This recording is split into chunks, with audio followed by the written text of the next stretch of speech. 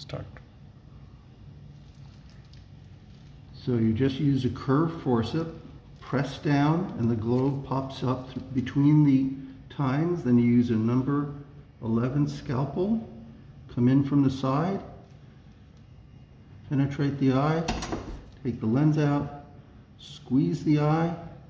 You can see this pinkish red retina comes through.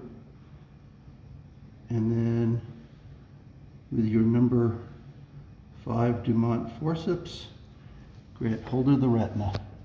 And there it is. And just put it in the tube. We'll do that again. Okay.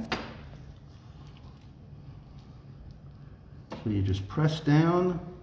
The globe just comes up between the tines of the forceps.